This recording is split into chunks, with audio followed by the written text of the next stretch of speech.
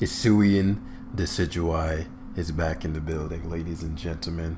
We've updated the team. Shout outs to uh, quite a few people. I don't even remember. I remember DJ mentioned the uh, the Ting-Lu, and I was like, well, I guess I remember why I didn't use Ting-Lu because I was trying to structure this more offensively.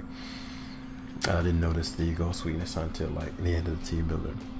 So we'll see. Uh, someone else, shout outs to you, was like, oh, you know, Jam, you can try uh, SD Bax. So we'll see. I like banded Bax. Uh, so I sort of switched the Dragapult to, to, then sort of switched the Dragapult to specs and made the Baxcalibur um, SD instead. So I switched the, the roles somewhat. Um, and then everything else is about the same as last time. So let's see what that profits us. Um, Greninja is interesting. Uh, in that it's likely lead spikes. Let me look at this guy's team. What can't guard against Ghost, Corviknight. That's probably like some kind of Encore Dragonite. Rotom is fucking king. Uh, Ting-Lu to shut down the Iron Moth. Rotom for the Azu Dragapult is king. So phase one is going to involve blowing away that Greninja. Actually opts for Dragonite turn one. I did not expect the Knight of Dragon. Uh, if only we could just go for the. Uh, he's probably gonna go for um, Hard Sizz, which uh, could Swords Dance. Hard Azu would be an issue. Uh, we'll see. How do I intend to win this? It's my worst case scenario. Glaive Rush, unless this is Tera Fairy Dragonite. Glaive Rush gives me the most value. Uh, SD SDEQ would probably one shot Azu. Um, if Azu comes in, it's not the end of the world, especially because I have such phenomenal positioning. Um, so he leaves it in. Is he gonna outrage or something? So he might be banded. Uh, so Dragonite's dead. Interesting. I didn't think so. that's an interesting play because if I just Icicle Crash, you'd have lost this. I don't have Icicle Crash on this, so if I was the bandit set, he'd have lost his Dragonite. Well, Glaive Rush barely missed out on the KO, so I ended up losing Bax, which isn't the end of the world. As I said, Bax was was okay, but not required. Um, so now we're going to U-turn to remove this Dragonite. I doubt I won't do 6%, right? Um, so we traded Bax for Dragonite. I'm more than pleased with that trade. Uh, as I said, what I'm looking at here, honestly, is removing the Grin, and then I just Iron Dance Corviknight, Iron Dance, Iron Defense Corviknight and Sleep. So my job here is to lure out that Greninja. How would I do so? I can't really lure it out. So what I'll do is lure out the Scizor and I'll roost on it. Well, 206 speed, yeah. It's probably, I mean, it could be slower than me. So I lure out the Iron Moth and it's special attack boosting, which means it's gonna fear my Ting-Lu. Uh, this could go a couple different ways. So likely Dazzling Gleam coming out. So Dazzling Gleam Tera Fairy. I told you I need this gone, right? So I'll give him this substitute. Uh, very interesting. I think that was a waste of a substitute, considering you know Ting-Lu runs Whirlwind. Um, and you can never. Well, I mean, you may be able to 2 care if you Tera, if you. But I want this gone. Unfortunately, he's gonna stay around, but uh, depending on what now, no matter what I get. If his Fiery Dance, no, I can't risk him to KOing me with like a Energy Ball Tera. Like that would be really devastating. I don't have. Mm, Because what I'm thinking is that my Poke can one-shot him anyway. I want this gone. Like I can't have him switching on and coming back. Well, I can. I'm thinking, what's the worst case scenario? The worst case scenario is the what a Tera what Pult should one shot. Let me see how much Pult does actually. That's the worst case scenario would be with a Tera Fairy to a KO. But I just Tera Water and Whirlwind. I'm actually gonna rocks first. Okay, excellent. This is best case. This is best case scenario. Uh so that's the case. I can actually just EQ. Yeah. Can just EQ. Uh, a Tera Grass Unless it's Tera Grass Agility. All I need is the earthquake damage. So it gives me the moth, which means Corviknight pretty much seals the deal. Um, if he goes Greninja and he's at Battle Bond, miss. I won't allow it. I shan't allow it. Um, Spadef drop means he may uh, he may Dark Pulse, but I'm like almost full Spadef Rotom. So he actually Shurikens, which is amazing. So we get to Volt Switch here with no drawback. Uh, please, or Rotom, nice, wondrous. And now we get the positioning of, let me see, Shadow Ball. Is it better to Shadow Ball lock? Yes. Also, it covers for any switches he might make, because he might want to switch to Greninja. He might not decide to keep it in. Shadow Ball governs everything, and he actually forces in. Because uh, I have the, the sack and Ting-Lu. I could U-turn out into my Corviknight and Iron Defense, which would steal the deal. I have seen encoring Azus. I mean, that's pretty rare, but it is a possibility, right? Um, at this point, Decidueye is still at full. Uh, that's why I was thinking about putting a grass move on there. The U-turn was, was beneficial. So here comes the Azu. I think I just Shadow Ball here.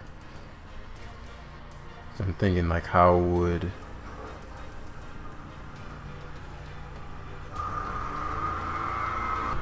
Great timing with the lawnmowers.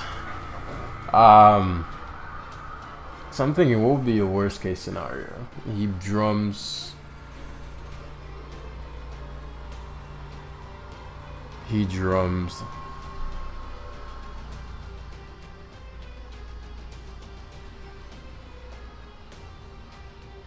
Drumming being jolly would be my worst case scenario.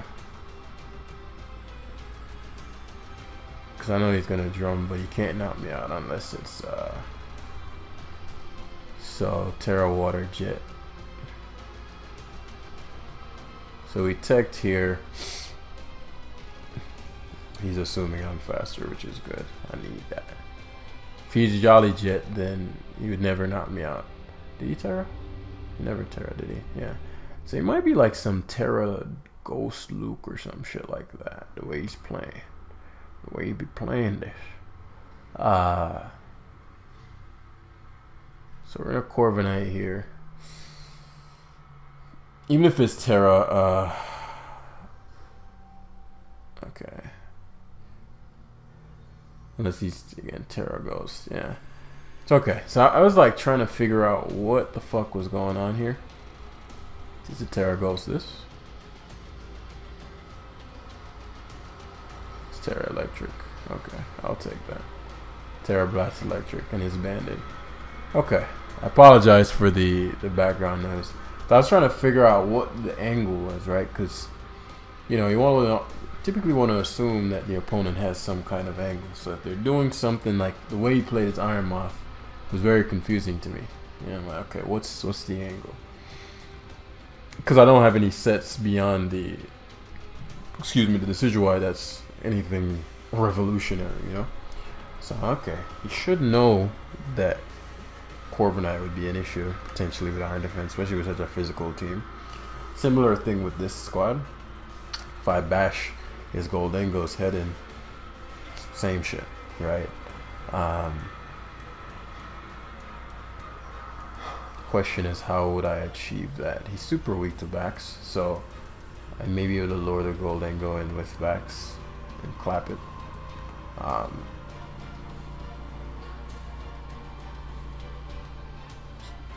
Somewhat Dragapult susceptible, but yeah.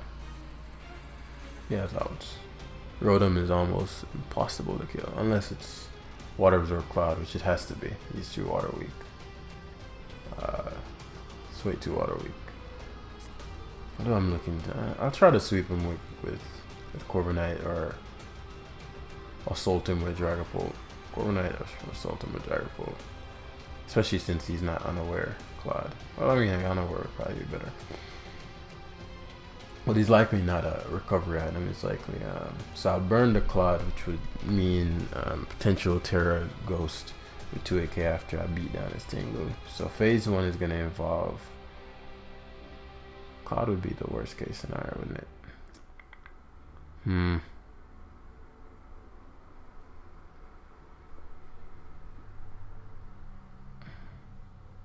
Valiant's crazy.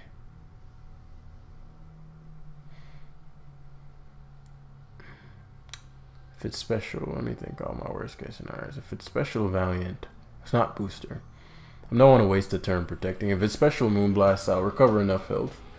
Uh, Cause I'll take probably 50 something. Valiant special attack isn't that high. If it's banded and CCs, then I will wisp him. I don't think there's any drawback to the wisp turn here. I mean, there's drawback at the fact the fact that I lose health, but um, because I think he was trying to guard against my Bax potentially being banded, which makes me think, well, he just knows how to structure a lead properly, which is good, or he knows my team, or both.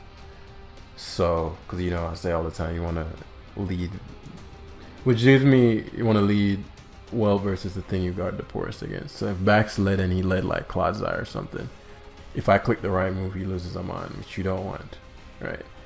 So excellent Valiant lead. Does let me know he's not booster. Could be some kind of trick thing. I haven't seen that quite some time. Rotom does like to run protect, and so he does want to scout for that. Uh, but as I said, I mean, Rotom's valuable, but if you look at his his offensive ones, right? Dragonite, okay, Specs Blast, that almost kills me. Um, just dangerous. Um, does does commit his Tera immediately. Does commit his Tera immediately. I don't think I get to it till that quarter. But he commits his Tera immediately, which is good news, which means I don't have to be concerned about anything else terraing. Um, and once my Baxcalibur, I if if that's not Scarf Gholdengo, once Bax Swords Dances, I could sweep him straight up. So let's see how much this is doing. If I get two killed, I'm in trouble. It's close. It's too close. If I die, I don't lose, but I don't want to risk. Yeah, I was like, there's no way. That had to be a high ass roll. I need to keep the Corviknight alive so I can switch in on two more again. Uh, so it's okay, Tingle, okay. Okay. Okay, Tingle. Um, triple arrows. Probably valianting. I love Gholdengo. I'm surprised he just Tinglued on rocks. We can't leave. If he gets reckless with the Ting-Lu, then that's gonna open up my Bax, and it's gonna open up my Dragapult. So no complaints. Um, again, Gholdengo is a wild play. If he goes hard Gholdengo, he might know my team. Ah. Quasar. This probably has, um... This probably has, uh, what's it called? Yeah, T-Spike's interesting. That's not good. I don't like that. And it's Black Sludge. Mm, I do not like that. Toxic Spikes is horrible. So, either No, Toxic Spike could be his only hazard. I was gonna say, he might not have Toxic, but Toxic Spike can be his only hazard. Um, so I'll Brave Bird here to see what the um, so T spikes again. Brave Bird to see what the so now I can go to Decidueye. Yeah, I figured Gholdengo would come in. Triple arrows, make your rain's gonna hurt. It's not specs. Oh, that damage is sexy. Shit, I don't want to risk the Valiant coming in. Gonna D5. Whew, please. That's a low, lowish risk. I mean, if it didn't work out, it wasn't the end of the world, but I definitely could, could have lost a lot that turn. Now my Corviknight's not at full, so he can't take um, a member with like Moonblast. Um, the beauty of it, the beauty of it all, because now, uh, I mean, he could leave the Valiant, and I'm willing to take the risk on the Corviknight as he does risk it, because uh, I think I still live two, right? Um, I don't live two. As I said, it's nothing that loses me the game if it doesn't go my way. Um, he took a high risk play there with the Valiant. Now all I need is rocks and I swords answered. I guess I'm risking the the, the Great Tusk being something, right? Okay. So Ting comes in. Um, Because hmm. another thing that's a problem for him is the Decidueye itself.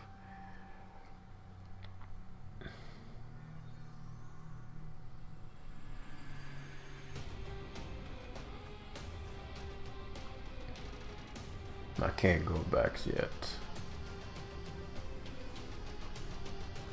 So when the triple arrow is hard, I'm pretty confident he's gonna leave this in. Um, he actually goes hard, Gholdengo. This means I'm gonna lose my mind to his Valiant. Okay, fair enough.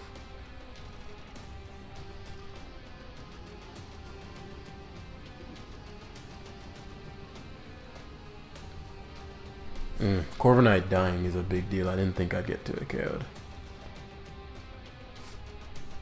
But the roll was close, so I'm not too super shocked it did 50. The roll was somewhere in there. And the Decidueye doesn't have enough Spadef to live, even if I Tera.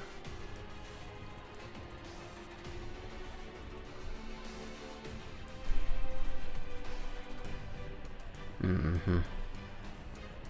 Super high risk play on the uh, Valiant. I could have hydroed. I should have hydroed actually. Forgot I had hydro pump. I literally forgot I had a. Could have just hydroed and chipped the Ting-Lu. I don't even need to necessarily. Um, again, if he stays in with the Valiant, he loses the game immediately. So I didn't think he'd risk it that turn.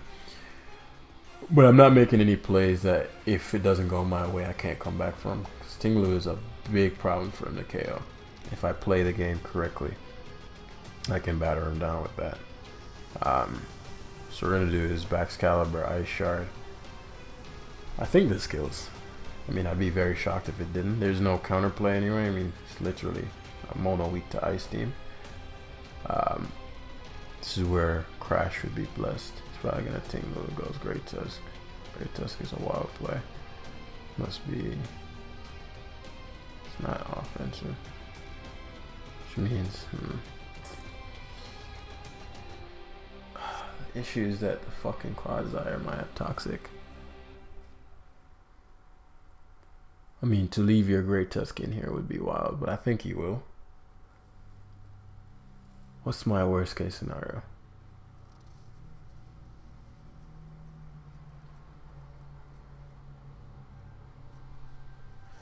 My worst, I can't have, I can't have Ting-Lu coming in.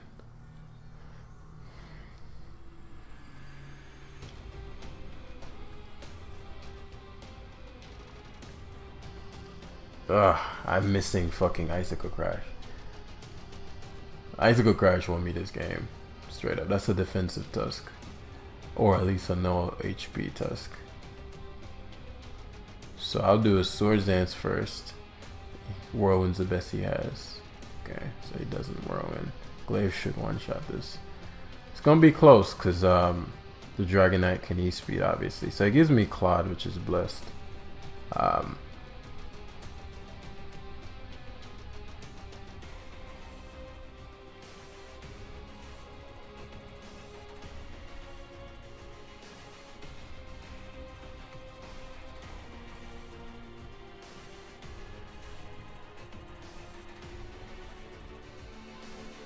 Hmm.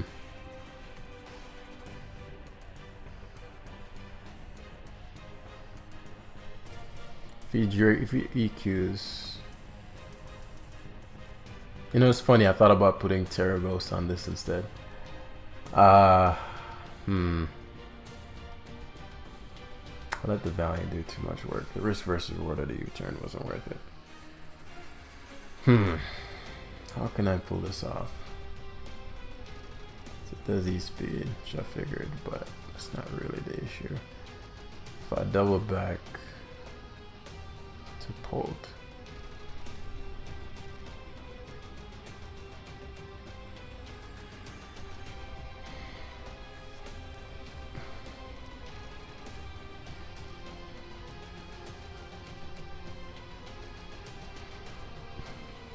i have to play the Bax differently. The Bax will have to be the support mine. Again, the icicle crash, not having crash is a big deal. EQs. Do I need to... Um,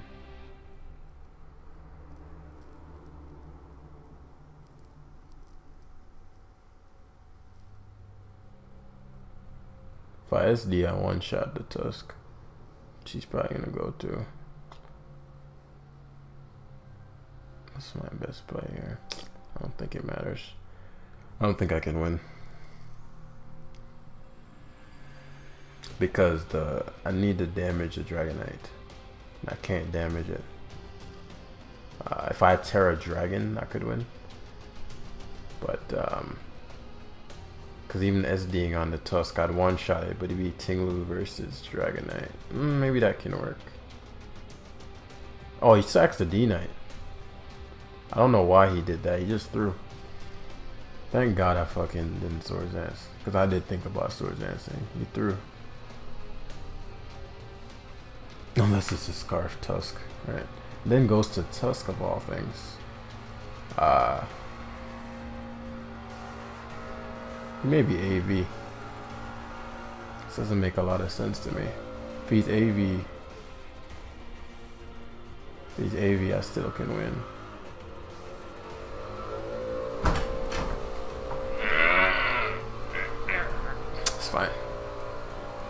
Sorry about the, the background noise. Whew. Okay. Alright then. Ruination. You can't make this shit up, bros. I truly cannot make this the fuck up. Truly cannot make this the fuck up. I need to get this, uh...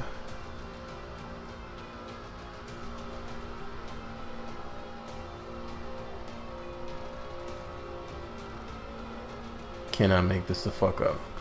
Uh, I might lose me the game.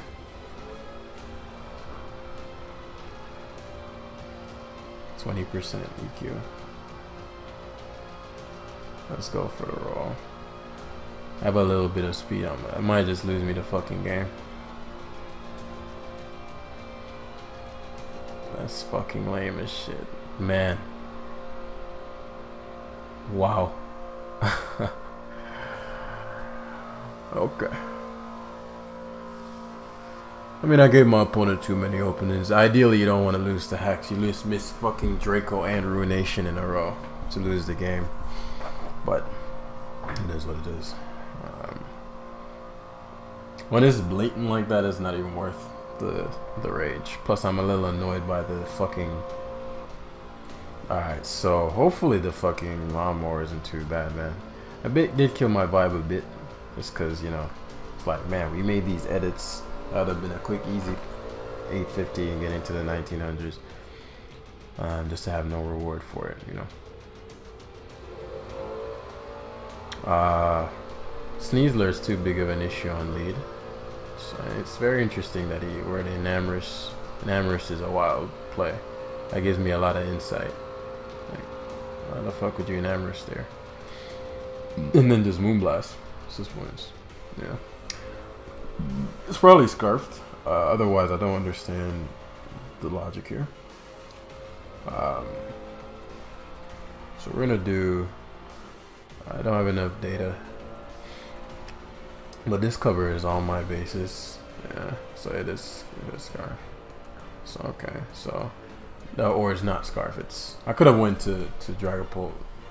Uh, Rotom being weakened matters a bit, but nothing too crazy because there's nothing on his team. In fact, Decidueye is gonna eat. Honestly, once I get rid of that Heatran, I'm thinking how I can lure the Heatran in. So I get rid of that Heatran. Um, so wrap, truth be told to you. So phase one's gonna involve the Pult because we want we want one. Uh, I think mindless Samurott is likely. This must be Sash. Do I risk this being Scarf? Fucking Greninja. What are the odds of that? If it's Scarf, what? Scarf, Protein, Ice Beam. Am I really willing to risk this? Like, do I, let me see. What's the risk versus reward? Do I lose the game? If he's scarfed. I don't. I still could 6 on him with Corviknight, but he'd be able to fucking use that Sneasler's move on me. Hmm. Cause I mean his first plays didn't make any. I'm gonna fucking ego scarf. Wow. I was like, there's no way he's fucking Scarf. But he was. He was Scarf. I don't lose a game, as I said, but it doesn't matter. A Scarf fucking grin. Great. It doesn't mean he's weaker, so... What do I want to do? Any Sashmons? Fucking Scarf Ice Beam Greninja.